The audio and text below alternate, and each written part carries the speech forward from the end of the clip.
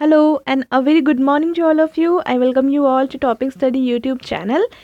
And आज हम शुरू करने वाले हैं सत्रह दिसंबर के डेली करेंट अफेयर्स क्विज़ तो चलिए अब हम शुरू करते हैं देखिए, ये वीडियो आपको रोज़ाना सात से आठ बजे के बीच में मिल जाया करती हैं, क्योंकि ये सात से आठ बजे के बीच में अपलोड हो जाती है आप जितने भी गवर्नमेंट जॉब के एस्पेरेंट्स हैं ना जिस भी तरह की गवर्नमेंट जॉब की तैयारी कर रहे हो आप सब इस वीडियो को रेफ़र कर सकते हो।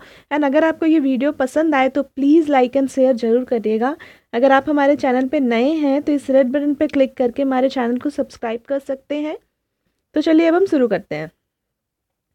आज का क्वेश्चन ऑफ़ द डे है आ, पहले तो मैंने कल आपसे कुछ क्वेश्चंस पूछे थे, उसके बारे में डिस्कस करती हूँ। And first of all thank you so much आप सभी लर्नर्स का एंड आप सबके सपोर्ट्स का एंड मैक्सिमम के आंसर्स सही थे एंड जिन्हों जिन्होंने पूरे आंसर्स नहीं दिए तो कुछ कुछ क्वेश्चंस के आंसर दिए तो आपके एफर्ट बहुत अच्छे हैं बट हाँ आप कोशिश करिए कि आप चारों क्वेश्चंस के आंसर्स दे पाए। उससे क्या होगा? मान लीजिए आपको जिसके आंसर्स नहीं भी आते हैं ना, उसे आप सर्च करिए एंड फिर उसके आंसर्स दीजिए। इससे ये होगा ना कि आपको उसके बारे में नॉलेज हो जाएँगी।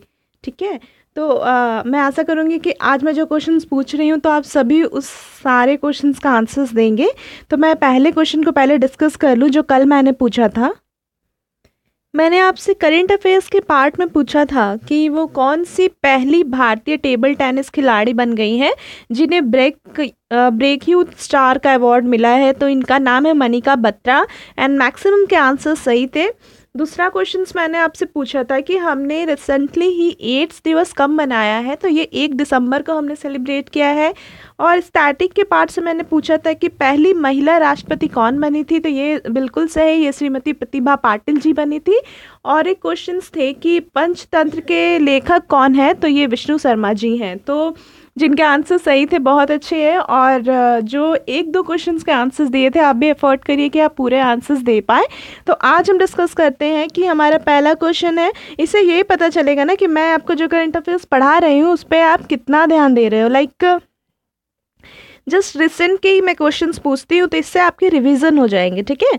तो देखिए, पहला क्वेश्चन है हमारा, किसने अनुपम खेर की जगह film and television institute of India के अध्यक्ष के रूप में क्या? कार्यभार संभाला है। पहला तो आप मुझे ये बताएँगे। एंड दूसरा है कि भारत में किस राज्य के उच्च न्यायालय ने राज्य में ऑनलाइन दवाओं की बिक्री पर रोक लगा दी है? ये दोनों कल के करंट अफेयर्स में जो मैंने क्वेश्चन करवाए थे ना, उसमें के ही क्वेश्चन है। तो आप क्वेश्चन कर, आप कोशिश करिए कि आप इसके आंसर्स दे पाए। एंड स्टैटिक में आप मुझे बताइए कि नौसेना दिवस कब मनाया गया है? कब मनाया जाता है? तो मैं आपको हिंट दे दूँ कि ये दिसंबर में ही मनता है बट दिसंबर के कौन से डेट पे? नवरानी ये एक लोक नृत्य है और ये किस राज्य का लोक नृत्य है, आप मुझे ये बताइए, ठीक है? तो चलिए, अब हम स्टार्ट करते हैं अपना करंट अफेयर्स क्विज तो हमारा पहला क्वेश्चन है, चिकित्सा उपकरण पर तीन दिन का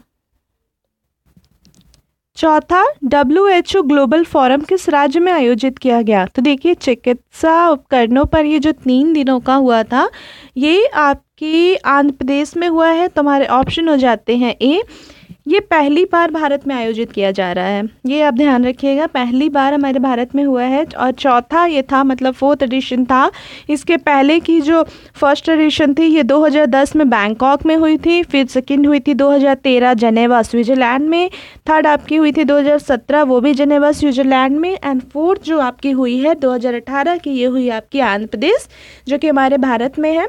तो ये जो चौथा है, ये पहली बार हमारे भारत में हुआ है और इसका उद्देश्य ये है ना कि मान लीजिए सतत विकास के लिए, स्वास्थ्य कवरेज के लिए आवश्यक और जितने भी प्राथमिक, प्रारंभिक चिकित्सा उपकरण होते हैं ना, उन तक पहुँचने को, फिर उस पहुँच को बढ़ावा देना और मापने के तरीकों को परिभाषित करना है। और सबसे सिंपल से समझ लीजिए कि ये चिकित्सा उपकरणों तक पहुँच को बढ़ावा देगा तो ये सारी चीज़ें आप ध्यान रखिएगा। और हमारे ऑप्शन हो जाते हैं A, Andhra Pradesh. Next question पे हम बढ़ते हैं। और यहाँ आप थोड़ा सा आंध्र प्रदेश के बारे में देख सकते हो, जैसा कि मैंने बताया कि ये W H O global forum था मेडिकल डिवाइसेस पे।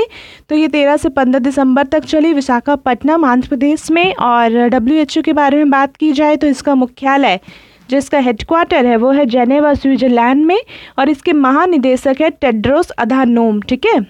और आंध्र प्रदेश की मैं बात करूँ?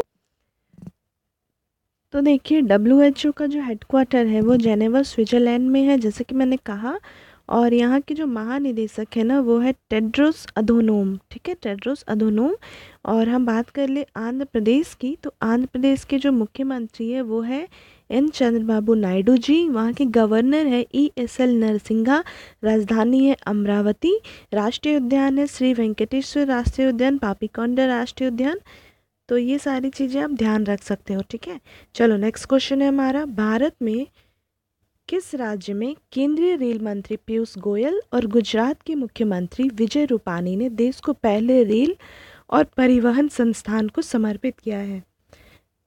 तो देखिए, इस क्वेश्चन में ये समझ लीजिए कि हमारे इंडिया का पहला रेल और ट्रांसपोर्ट यूनिवर्सिटी यूनिवर्सिटी बनाई गई है, ठीक है? रेल एवं ट्रांसपोर्ट यूनिवर्सिटी बनाई गई है। वहाँ रेल और ट्रांसपोर्ट से रिलेटेड पढ़ाई की जाएगी और ये इंडिया का हमारा पहला है। और अगर वर्ल्ड की बात करूँ ना तो ये वर्ल्ड में तीसरा है। ये पहला रूस में है, चीन में है और तीसरा जो है, ये यूनिवर्सिटी हमारी भारत में अब सम, आ गया है। तो ये आपकी बना है गुजरात में। हमारे ऑप्शन हो जाते हैं सी, गुजरात। देखो ये गुज वडोदरा, गुजरात के वडोदरा में बनाया गया है। और जैसे कि मैंने कहा कि ये रूस और चीन के बाद ये भारत का पहला और विश्व का तीसरा रेलवे विश्वविद्यालय है, ठीक है? और यूनिवर्सिटी के जो कुलगुरु हैं ना, वो होंगे अश्विनी लोहानी, जो कि रेलवे बोर्ड के चेयरमैन हैं। और यहाँ B B A B C A की पढ़ाई होगी रेलवे ट्रांसपोर्ट से रिलेटेड। और आप ये भी ध्यान रख सकते हो, अगर एग्जैक्ट लोकेशन की बात करूँ तो वडोदरा में वडोदरा में वडोदिया तालुका के पिलपिला गाँव में 110 एकड़ ज़मीन पर ये बनाया गया है। देखिए, यह मिनिस्ट्री ऑफ़ पावर की बात की जाए तो जैसे कि हम जानते हैं कि यहाँ के जो मंत्री है वो श्री आर के सिंह और यहाँ का जो मुख्यालय है वो नई दिल्ली है और ये क्वेश्चन तो समझ में आ गई होगी। जैसा कि मैंने कहा, और देखिए, ये जो कोड है ना, ऊर्जा संरक्षण इमारत कोड जो है इसे लागू करने में 2030 तक 125 अरब यूनिट के बिजली की बचत होने की संभावना है। ऐसा कहा जा रहा है जो करीब 100 मिलियन टन कार्बन डाइऑक्साइड के उत्सर्जन के बराबर है। तो ये सारे फ़ायदे होने वाले हैं इसके तहत, ये आप ध्यान रखिएगा। ऑप्शन हो जाते हैं ए विद्युत मंत्रालय। नेक्स्ट क्वेश्चन पे हम बढ़ते हैं। कौन सा राज्य महिलाओं के यौन शोषण पर प्रतिबंध लगाने वाला कानून का पहला राज्य बन गया। मतलब वहाँ अब महिलाओं का यौन शोषण नहीं होगा। पूरी तरह से वहाँ प्रतिबंध लगा दिया गया है और ये राज्य है जम्मू एंड कश्मीर। हमारे ऑप्शन हो जाते हैं ए और जम्मू एंड कश्मीर के बारे में आप ध्यान दे सकते हो, जो मुख्यमंत्री है महबूबा मुफ्ती जी और गवर्नर है सत्यपाल मलिक। इनकी ही अध्यक्षता में ये कहा गया है कि इनके, इन्होंने महिलाओं के यौन शोषण पर प्रतिबंध लगाया है, ठीक है?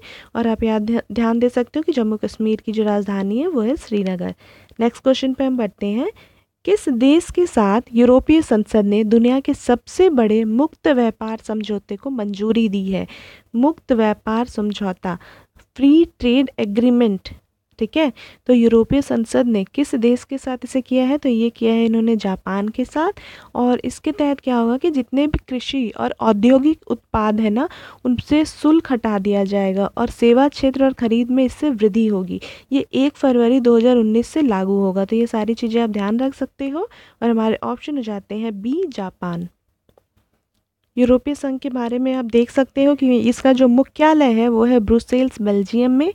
और यूरोपीय परिषद के जो अध्यक्ष हैं ना, उनका नाम है डोलान टुस्क। यूरोपीय आयोग के जो राष्ट्रपति हैं, इनका नाम है जीन क्लाउड जुनेका। और यूरोपीय संसद के जो राष्ट्रपति हैं, इनका नाम है एंटोनियो तजानी। ये सारी चीज़ें आप ध्यान रखिए, ये इंपॉर्टेंट है। जापान जैसा कि हमारे ऑप्शन में आया है तो इसके बारे में हम जान लेते हैं कि इसकी राजधानी है टोक्यो, यहाँ की मुद्रा है जापानी येन, और यहाँ के प्रधानमंत्री है सिंजो आबे। तो ये सारी चीज़ें आप ध्यान रखिएगा, ठीक है? चलो नेक्स्ट क्वेश्चन है हमारा। ज्ञानपीठ पुरस्कार से किन्हें सम्मानित किया गया है? तो ज्ञानपीठ पुरस्कार से जिन्हें सम्मानित किया गया है ना, इनका नाम है अमिताभ घोष। ठीक है? ये बहुत ही प्रसिद्ध अंग्रेज़ी लेखक हैं और ज्ञानपीठ चयन बोर्ड ने इनका चयन किया है।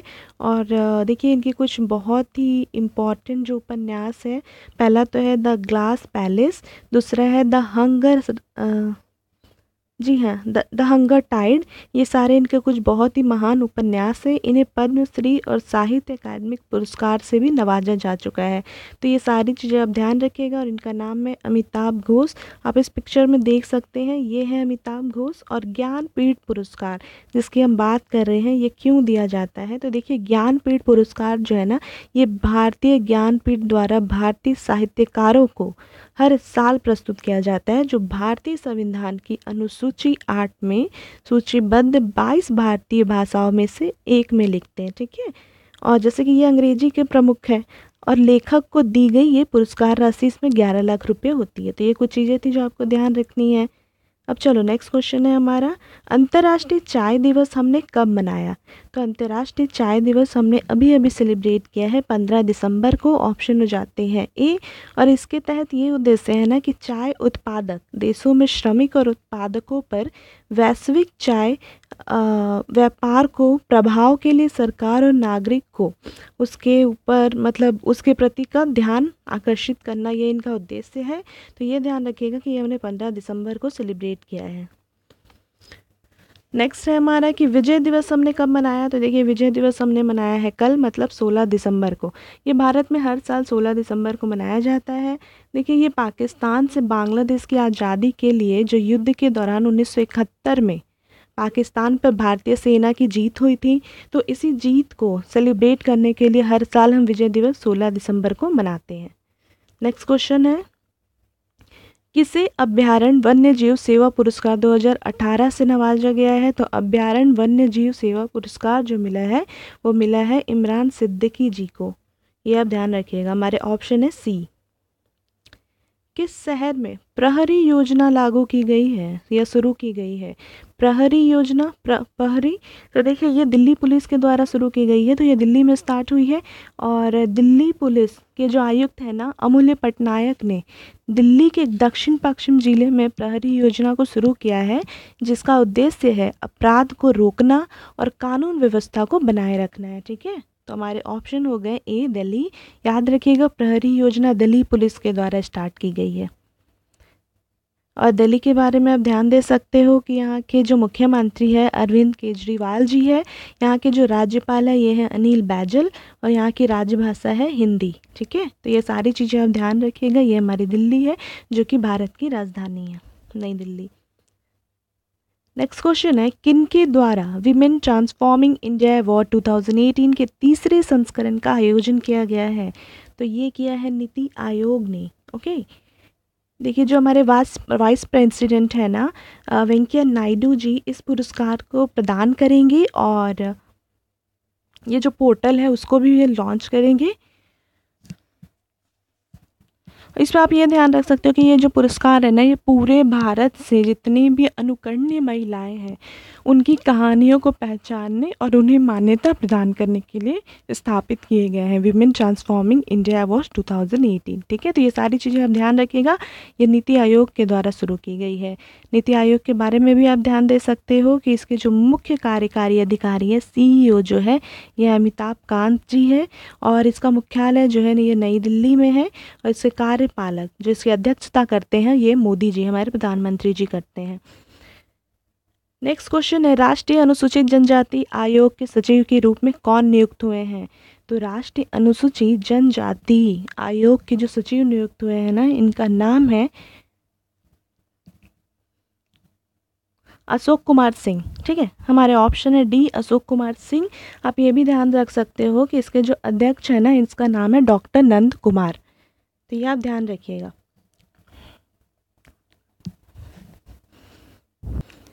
देखिए, आप ये भी ध्यान रख सकते हैं, राष्ट्रीय राष्ट्रीय अनुसूचित जनजाति आयोग, ये है क्या?